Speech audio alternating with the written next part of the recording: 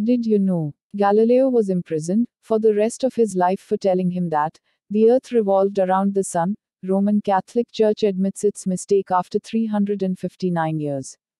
Galileo told the world through his experiments that the earth revolves around the sun. According to the church and scriptures at that time, this concept was prevalent all over the world that the sun revolves around the earth. When Galileo made this doctrine public, the church turned against him. He was accused of being a heretic and asked to prove his theory mathematically. He was also prosecuted for heresy in the Roman Catholic Church.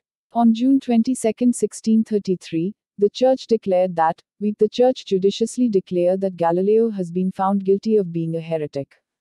Galileo's doctrine and belief are an insult to the divine religious books.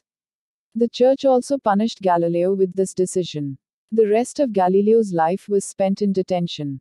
He died on the 8th of January 1642. Today the world remembers Galileo as a great mathematician and astronomer.